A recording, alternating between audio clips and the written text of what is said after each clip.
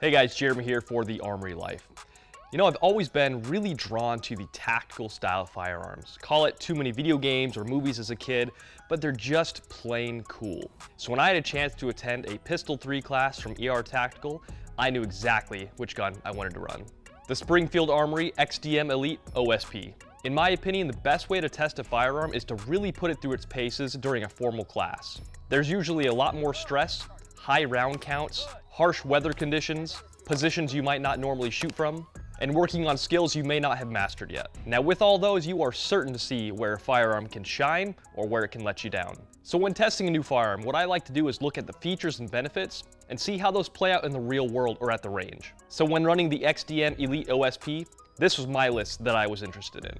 The 5.28 inch hammer forged steel threaded barrel, the suppressor height sights and how they co-witness with the dot, the slide serrations, the new optic capable slide, the meta trigger, the position and design of the slide release, the grip texture, the mag release, the flared mag well, the beaver tail safety, and overall general reliability. A secondary benefit of testing a new gun is testing new gear. So for this class, I chose some of my favorites from Esstac, the Kiwi pouches and their shooter's belt. For my holster, I went with the T-Rex Arms Ragnarok holster with a Safariland QLS mid-drop. And testing out the dot on the firearm, I went with the Vortex Venom for its really large window. So let's take a look at my list and see how the pistol did under these circumstances in my hands. The hammer forged steel barrel.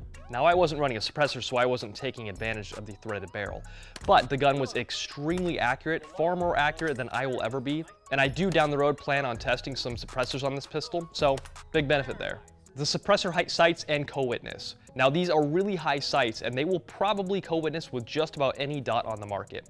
The Vortex Venom that I chose is a little bit of a taller optic on the body, so it kind of co-witnessed with these, you know, it's not the full one third, so really picking up those irons pretty quick if that dot fails is not, uh, is, is not gonna be the easiest, but it did work and it was able to slide in the dot just by co-witnessing the irons. So that's a huge benefit. Now, especially with one-handed reloads or manipulating that slide, those will come in really handy. It was very easy to manipulate the slide on my belt or on my holster because of those really high suppressor height sights. Also, I usually prefer to have some sort of color, at least on my front sight post. Uh, these ones are all blacked out, but when running a dot, that was kind of nice because there wasn't anything competing with that red dot in my field of vision. Slide serrations, super easy to manipulate the slide.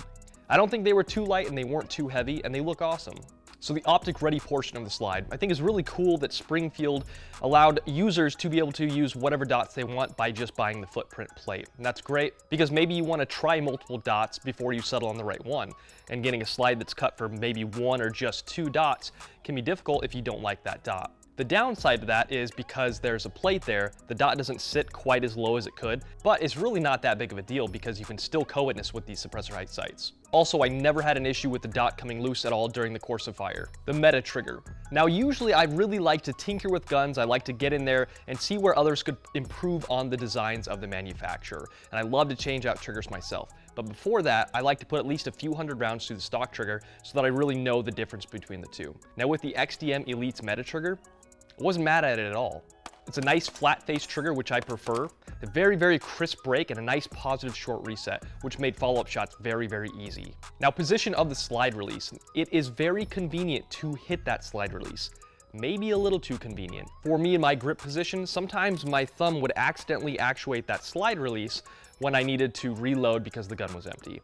Uh, that was kind of a bummer, but it was really just me having to adjust my grip a little bit for that. Again, not a big deal, just something that I had to be aware of on my end. The grip texture. The XDM Elite OSP is a pretty large gun. The cool thing is they give you uh, interchangeable back straps. So no matter what your hand size, you're probably gonna find a proper grip on this. I didn't wear gloves and it was pushing 100, so my hands were sweaty. Never did I feel like I didn't have a proper grip on the pistol. And it wasn't too much to where, you know, a couple hundred rounds in, my hands are hurting. So I think the grip was great. The mag release. I love that Springfield made it an ambi mag release. And I was curious because it, it's fairly small, so I was wondering would I miss some of the larger mag releases of some of my other pistols. I didn't actually have any issues actuating this mag release. And I really liked that it was a small circle because at different angles, I could still actuate that mag release with different parts of my thumb. So that was a huge plus. And even under duress, never did I miss hitting that mag release. The flared mag well might be one of my favorite features. Between the stainless steel mags and that flared mag well, I was looking forward to reloading. It was so fun and so easy Blindfolded, I could reload that thing super fast. And the mags were super durable and super smooth, feeding reliably 100% every single time. The beaver tail safety. Now, if you would have asked me about this prior to running this class or handling this pistol, I might have looked at you sidelong and says, I'm not sure about that feature. Well, throughout the course of the day, never once did I even think about the beaver tail safety.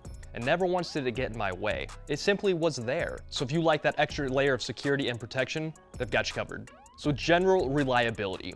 Now, during the course of this class, we fired over 500 rounds each. It was pushing 100 degrees, and the range is all dust, dirt, and rocks. When you drop a mag, it hits that dirt. We're stepping on them. They're getting kicked. They're down there for a little while. You pick them up, you load them back, back in the gun. These are harsh conditions. We don't baby the guns, we invite them to fail because if your life is depending on a gun, you need to know when and where that gun might fail you. And I can happily say with the XDM Elite OSP, zero malfunctions, zero failures of any kind.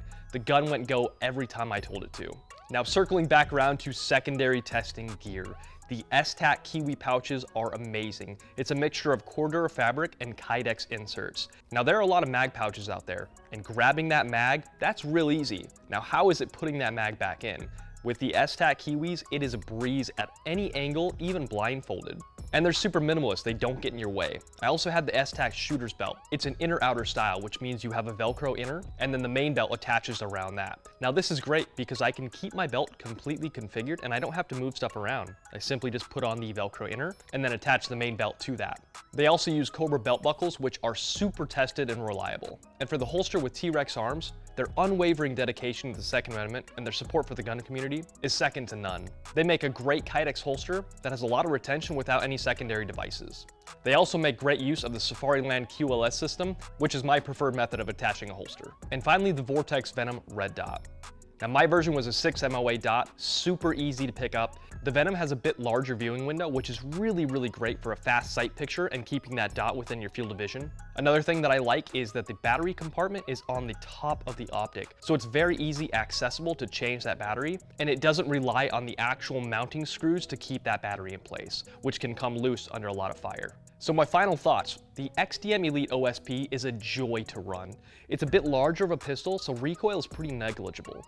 It's extremely smooth and the gun wants to go fast, and with that flared magwell and those stainless steel mags, you're gonna love when you hit slide lock because that means you get to reload it again. The ability to attach an optic and a suppressor is just icing on the cake, and visually this has to be one of my favorite pistols. I would certainly recommend the XDM Elite OSP if you're into the larger tactical style of firearms for their ease of use and modularity.